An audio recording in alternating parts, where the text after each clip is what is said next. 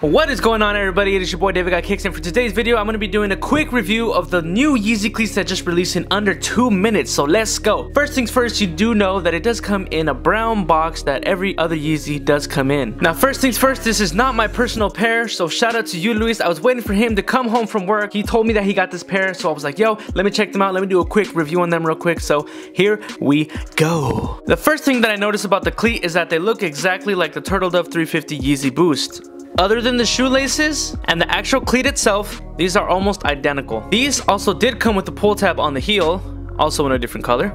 And I was very surprised to see the type of material that was actually put on the shoe. I was very surprised when I first saw the shoe in hand and I felt it. You know, when I saw pictures, I thought they were to be in a Flyknit material, you know, the same material that a regular Yeezy was used. But to find out that they were like a hard plastic, I'm, I don't really know the exact material that was put on them, but they were just a plastic material, kind of almost feels like waterproof. Moving into the shoelaces, you see the shoelaces are different as well. These do come with flat laces with little gold tips. My personal thoughts of the cleats is I think they are pretty dope, I'm not gonna lie. And I was surprised that these also do come with some sort of cushion on the heel. If if you guys have ever felt 350 Boost Yeezys, you would know that there's not that much cushioning on the heel, other than the new 2016 release. I was surprised that these actually do have some padding on the heel.